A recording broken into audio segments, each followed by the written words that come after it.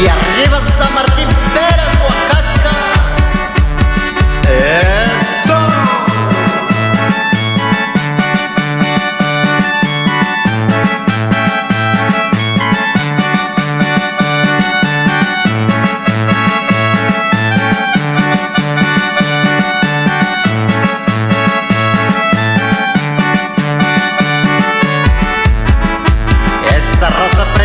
San Martín, tú y Oaxaca.